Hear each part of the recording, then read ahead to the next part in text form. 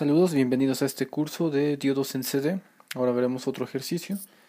Eh, prosiguiendo el análisis de diodos en, en serie, ahora tengo dos, dos diodos de este tipo, uno de silicio y uno de germanio, y se me pide lo que está en verde, que es corriente del circuito, o vemos un circuito en serie, y el voltaje en la salida, o en este punto, en el punto B sub 0, que es donde está la resistencia.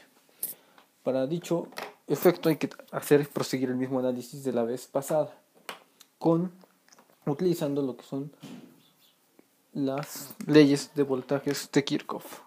Entonces, empezando ya sabemos que la dirección de la corriente establece los signos, entonces pondré yo más menos, más menos, más menos.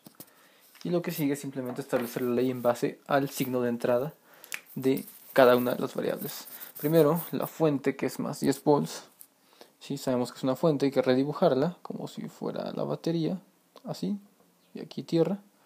Entra con signo negativo, por lo tanto pondría yo menos 10 voltios. Siguiendo sería el voltaje del diodo de silicio, que es de 0.7 en conducción. Cabe recordar que para analizar este tipo de circuitos hay que identificar si los dos diodos están polarizados en directa o en inversa. Como están en directa, hay que recordar que se sustituyen por un interruptor cerrado de su valor nominal de voltaje cuando conduce. 0.7 volts el de silicio, 0.3 volts el de germanio. Ahí está. Luego, el siguiente elemento es la resistencia, más el voltaje de la resistencia. Podríamos ponerle más el voltaje V sub 0, ¿sí? o más eh, lo que es la caída de voltaje de, que produce esta corriente y esta resistencia, lo cual pondríamos más la corriente que sería ID, ID por 1.5 kilo ohms. Y esto sería mi ley de voltajes igual a 0. Ahora, despejando todo esto, las constantes 10, 7 y 3 van del otro lado. Y me queda únicamente de este lado I sub D, que multiplica a 1.5 kilo ohms. Entonces igual a 10 positivo menos 0.7 menos 0.3, lo cual me da 9 voltios de este lado. Y tengo ya para despejar la corriente por el circuito. La corriente por el circuito estaría dada por los 9 voltios entre 1.5 kilo ohms. De esta forma, logro encontrar la corriente. 9 entre 1.5 nos da exactamente o aproximadamente los 6 miliamperios. Por lo tanto, la corriente por el circuito y sub que me piden en verde sería de 6 miliamperios. La otra variable es el voltaje en CD, el voltaje de salida.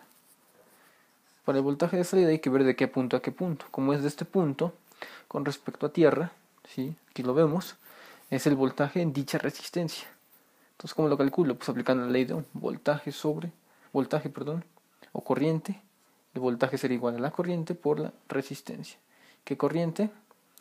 Si vemos es básicamente esta obtención de esta relación, la corriente de 6 miliamperios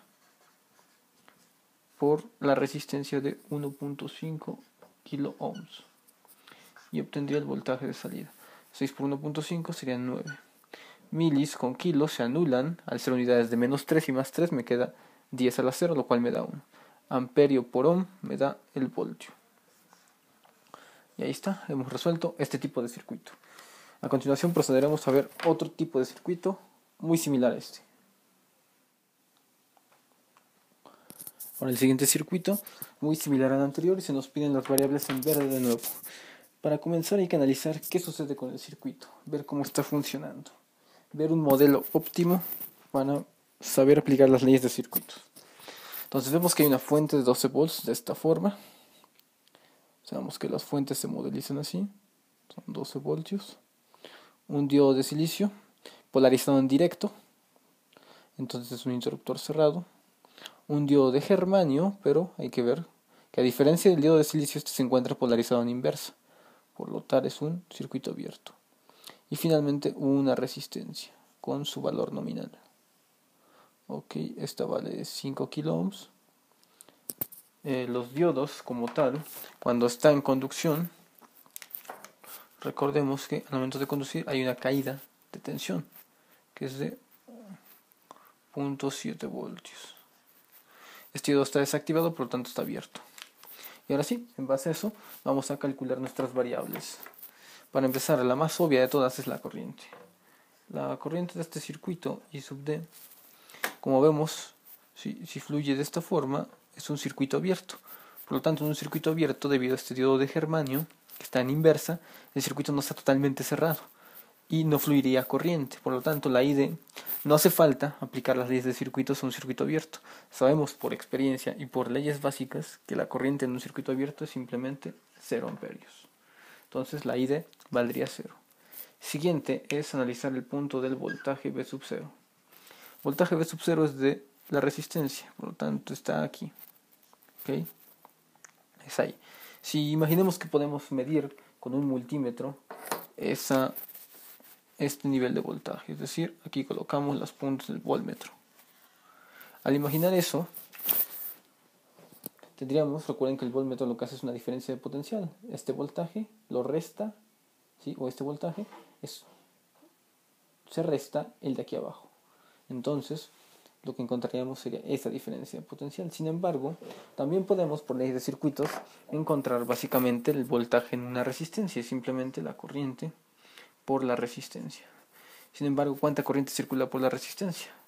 Como está en serie, no circula nada de corriente. Y pues de resistencia tenemos que hay 5 ohms. Por lo tanto, el voltaje V sub 0 me sale de 0 voltios. Ahí lo tengo. ¿Sí? Y esto es muy básico porque como no hay energía en el circuito, no hay por qué desprender una cantidad de trabajo ni un calentamiento en dicha resistencia. Luego, lo último que me queda es analizar el punto BD2 es decir, el voltaje aquí en donde está el circuito abierto, cuánto voltaje habría. Y yo mucho ojo aquí, porque en esta parte empieza lo complicado. El voltaje, ¿sí? lo voy a mencionar, no es cero en este punto. ¿Por qué? Vamos a analizar el circuito. Debido a que hay una fuente activa, 12 volts, este es un camino cerrado que vale 0.7 y esta resistencia, ¿cuánto hay de voltaje? Cero. Como no tiene voltaje la resistencia, quiere decir que no actúa como un elemento resistivo está actuando en este circuito como un simple cable. ¿Por qué? Porque en un cable no hay diferencia de potencial. O en un cortocircuito, ¿sí? En un cortocircuito, el voltaje que encuentro es siempre cero. ¿Sí? En un cortocircuito, en esos puntos, el voltaje es cero. ¿Ok? Entonces, tendría yo 0 volts. Por lo tanto, sería un cable. Y si mide el voltmetro, veamos a qué me conduce. Me conduce a este punto y me conduce a la terminal negativa de la pila. Por lo tanto, el voltaje en ese punto, el voltaje en D2, en circuito abierto, si el voltaje apareciendo en el diodo de germanio serían los 12 volts, ¿sí? y acá tenemos esto más menos, recordar, menos los puntos 7. Entonces 12 volts menos los puntos 7 volts, encontraré yo con certitud 12 menos 0.7 serían 11.3 volts aproximadamente por dicho circuito, por dicho elemento, perdón. Y ahí está, tenemos, hay que empezar a ver la relación y de este circuito con respecto al anterior y empezar a pensar las relaciones que podemos que podemos vislumbrar en base a los, a los análisis de circuitos básicos. Y en dicho caso de poder hacerlo, lo aplicamos. En dicho caso de que no, hay que razonarlo de esta forma.